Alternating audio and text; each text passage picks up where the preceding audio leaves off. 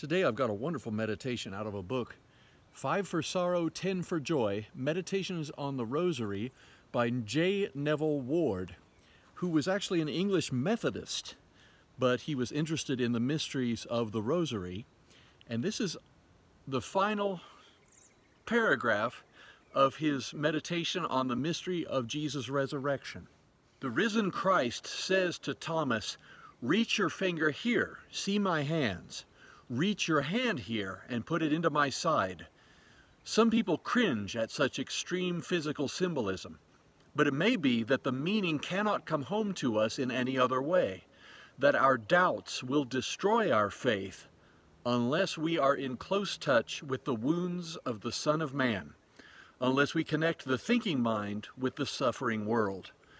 The real darkness is not the perplexity of the reason, but the insensitiveness of the affections that does not feel the injuries and insults heaped on the body of humanity in all the places where life bleeds and hurts. Would you pray with me? Just a simple prayer. Lord God, keep me in touch with the wounds of Jesus Christ. Amen. Thanks for joining me tonight. God bless you. We're not finished yet. As we were doing that last prayer, I received a message that there's a little boy who has heart surgery coming up. We want to pray for him and also a gentleman who is discontinuing chemotherapy and his kidneys are compromised. So I'd like to pray for him and for his wife.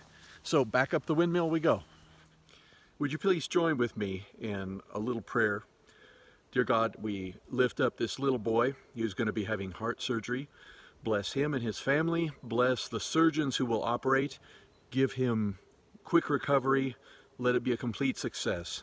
We also lift up this gentleman and his wife, uh, this man who has chosen to discontinue chemotherapy and whose kidneys are compromised. We pray that you will fill them both with your spirit and give them grace and peace.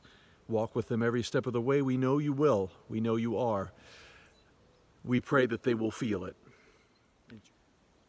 And we pray that you let them feel your grace in a very tangible way.